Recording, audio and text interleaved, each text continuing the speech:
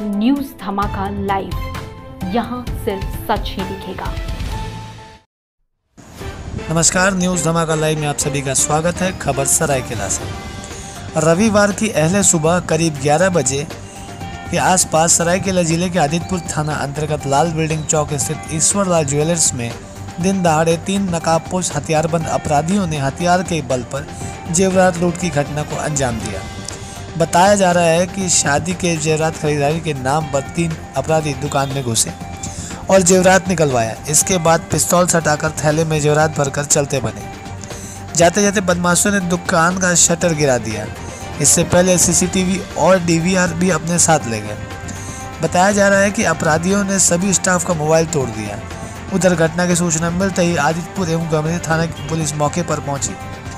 और मामले की जाँच में जुट गई। उधर घटना की जानकारी मिलते ही एसपी डॉक्टर विमल कुमार भी घटनास्थल पर पहुँचे और घटना का जायजा लिया। साथ ही उन्होंने दावा किया कि अपराधियों की तलाशी तेज कर दी गई है। आसपास के सीसीटीवी फुटेज खंगाले जा रहे हैं। उन्होंने बताया कि पड़ोसी जिला जमशेदपुर पुलिस से भी सहयोग लिया जा रहा है। जल्द ही अपराधी सलाखों के पीछे होंगे। फ़िलहाल कितने की लूट हुई है, इसका आकलन कर पाना अभी मुश्किल है। कोई कोई कुछ नहीं बोलने वाला, ना कोई टोकना चलिए चलिए आप चलिए तो।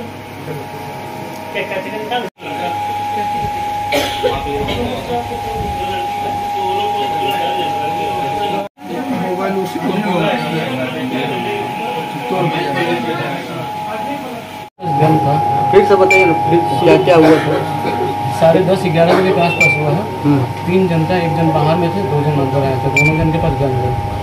दोनों जन आके सामान वामान देते गए क्या दिखने में कैसा थे वो लोग लंबा चौड़ा था हट्टा करता था। क्या पहना था? रेनकोट लगाया हुआ था मास्क भी लगा हुआ था और एक जन सिर्फ़ मास्क लगाया हुआ था। क्या डिमांड कर रहे थे आपके यहाँ के? चेन मांगे फिर जाकर गन निकाल दिया गन से सब निकालने कितना क्या क्या सामान लेके उड़े हैं? क्या क्या सामान लगभग लेके उड़े? जितना सामान था सब कितना का होगा लगभग? कोई अनुमान? देखना पड़ेगा? तो लगता नहीं देखना फिर भी देख लेते हैं। क्या नाम हुआ आपका? अमृत वर्मा। सर क्या पता चला सर? ये ज्वेलरी शॉप में है और ये जो सूचना मिली है कि वो तीन लोग जो है वो आए थे। डायरेक्शन से और उसको हम थ्री नाइन्टी टू कहते हैं सेक्शन के हिसाब से। वो उनके द्वारा जो है ज्वेलरी यहाँ से छीन करके मारा गया है।